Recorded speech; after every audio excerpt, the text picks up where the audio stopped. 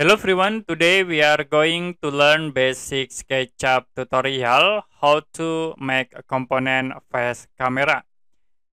As example, I will draw simple objects and we can convert this object into 3D by using Pool Tools. After it, you can triple click, right click and then choose make component. Click create and you can see the components in the tab components in the bar.